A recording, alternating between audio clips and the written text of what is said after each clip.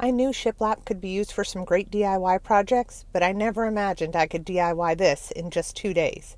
I started with this plain wall. I identified where the studs are and marked those with a piece of green painter's tape. The first thing I did was to create a side frame that came out from the wall. To do this, I cut 2 by 4s to the height of the wall.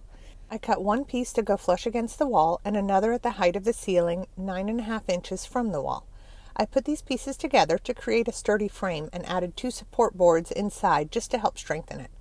I created two of these frames and then attached them to the stud locations on the wall. I used several long screws to make sure that it was very secure and also used a level to make sure that it was plumb or straight going up the wall. Once both side frames were installed, I moved on to creating a bottom frame. For my measurements, this bottom frame was 50 inches wide and 12 inches high. I put this together with two additional 2x4 pieces as supports on the inside. This fit perfectly inside my two side frames.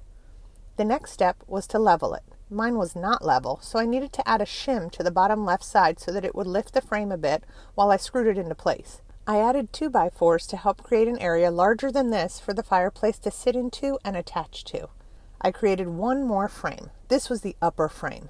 Similarly, it was just 2 by 4s up to the ceiling, once that upper frame was put together, I had some help lifting it in place and then secured that with several screws. One other thing I did was to add some 2 by 4s approximately where I thought the TV would mount. Okay, that was the hard part. Now let's get on to the fun part. I cut shiplap pieces and painted them using a paint sprayer. It's difficult to paint the grooves of shiplap, and the sprayer makes that part super easy. The color I used was Sherwin Williams Urban Bronze. I started attaching the shiplap from the top. The reason I did this was so that if there's any gap when I get to the bottom, then I can just cover that with baseboard. I used the nail gun to attach it to the wood frame.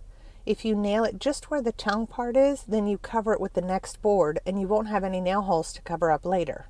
Of course, now that I say that, I have to show you that it doesn't always work. I had a piece here that was bowed out a little and didn't sit securely enough for me by just nailing it at the tongue piece. So I did add one more nail to secure it toward the top. I'll go over this with a little more paint later and make sure it isn't visible. I continued adding shiplap all around, and then, when it came to the fireplace area, I cut out the shiplap a little bit to frame it around the opening. You can do this with a jigsaw or multi-tool. I continued working my way down, and I have to admit, I got really lucky that my last piece of shiplap ended exactly on the floor. This was not great measuring or anything I can attribute to myself. I just got really lucky here. I may still add baseboard to it later when I add it to the rest of the wall so that it'll look perfectly built in.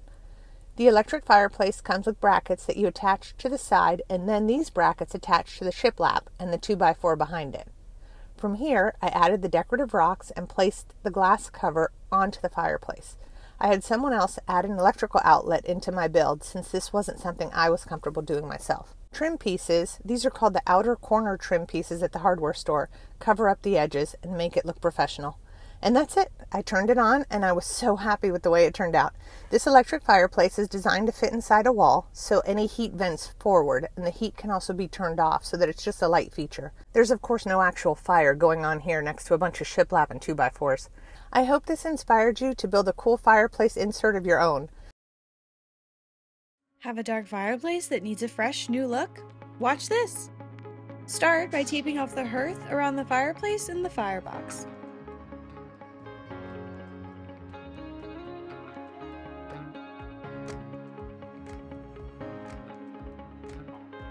Next, remove the mantle if possible and lay down a drop cloth to protect your floor.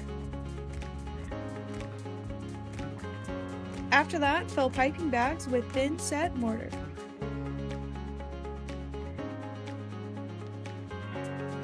Then begin piping the mortar into the grooves of the brick.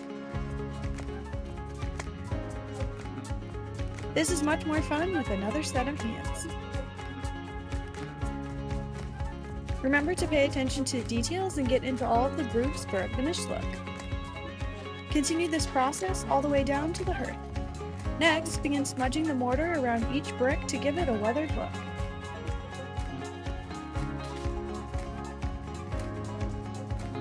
Already looking brighter. Scrape off any excess mortar that got onto the firebox with the putty knife. You can avoid this by adding plastic over top when you apply it to the rest of the fireplace. After the fireplace is dry, tape off the firebox. Make sure to cover all of the screens with tape. Next, grab some Rust-Oleum High Heat Ultra Spray Paint in whatever color you want and begin spraying on.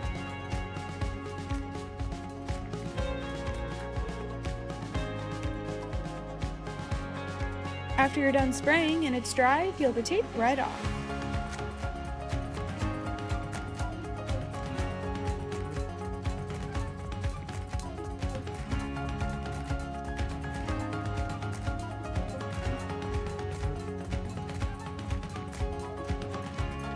Next, add the mantle back on and add some items to personalize the space.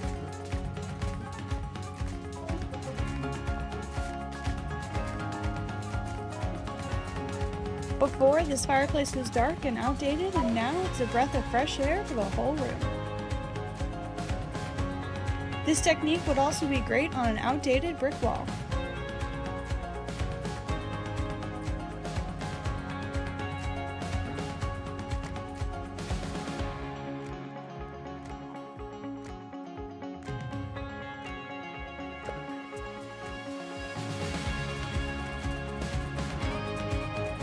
I hope this inspires you to give this German schmear technique a try on your outdated fireplace.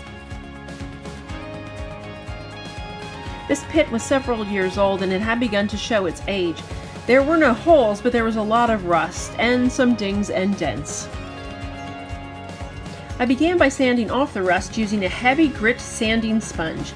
These sponges are perfect because you can get in all the nooks and crannies all around the pit.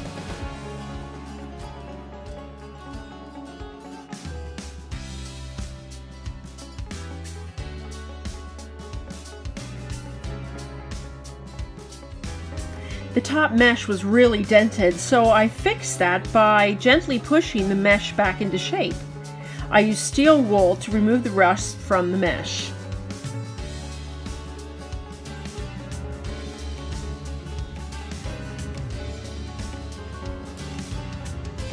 Once everything was sanded, I washed each piece with plain water. When the pieces were dry, I sprayed them with high heat spray paint. It's really important to use spray paint that says high heat on the can, otherwise your fire pit will catch on fire.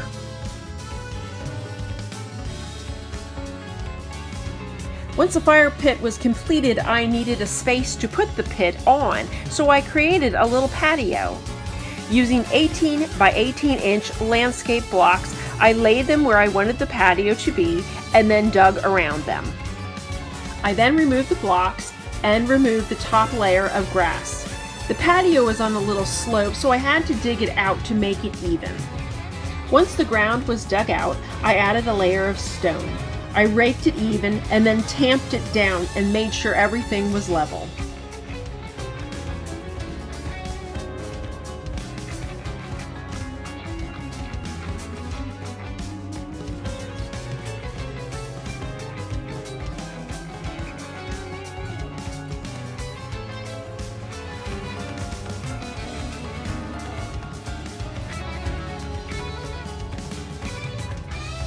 Once everything was level, I laid the blocks back on top. I continued to check for level after each block was laid, and I added stone under the block if necessary.